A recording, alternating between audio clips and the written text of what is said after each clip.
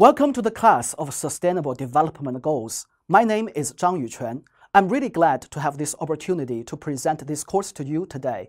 Before we start, let me briefly introduce myself. So my background is PhD in agricultural economics and Bachelor of Science in Resources Science and Engineering. Prior to my joining SJTU in 2015, I worked at the Research Triangle Institute and then at the International Institute for Applied Systems Analysis.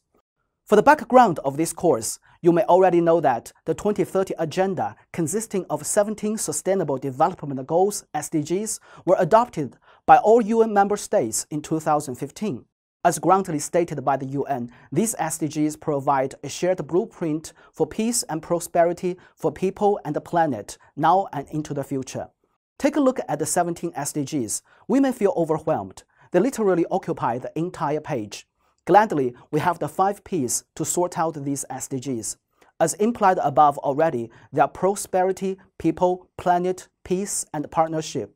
Using these five Ps will help us better understand the aspirations underlying the UN SDGs.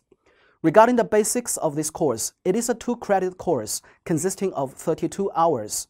The course will be launched this fall semester, and the arena will be at SJTU's China-UK Low Carbon College. To advance the achievement of the SDGs, six how-to pathways are recommended, and quite a few are closely related to the Low Carbon College's primary programs. One is low carbon energy engineering, while the other is low carbon environmental engineering. During the SDG course, we may have access to some of the ongoing research activities here. On the right side, we see a picture of East Sea Grand Bridge very close to Lingang. Along the bridge, we can see the silhouettes of the wind turbines. On the left bottom, we see a picture of the wind turbines in Copenhagen, Denmark. So, as you may find, efforts are being made worldwide to decarbonize the energy supply systems. Turning to the specific contents of the course, for each SDG, we shall introduce the basics. Then deep discussion that stay relevant to the given topic will be encouraged. On the right side of this slide, the figures are showing how China has performed against the different SDG goals during the period of 2000 to 2015. The upper one shows the performance at the national level. The lower one shows the regional heterogeneity in SDG scores. What's behind these numbers? We shall explore some case studies of China in the arena of SDGs.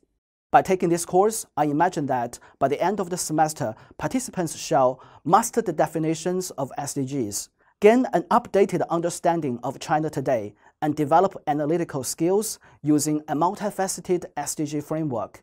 So that's our course, the UN SDGs. I look forward to seeing you this fall semester.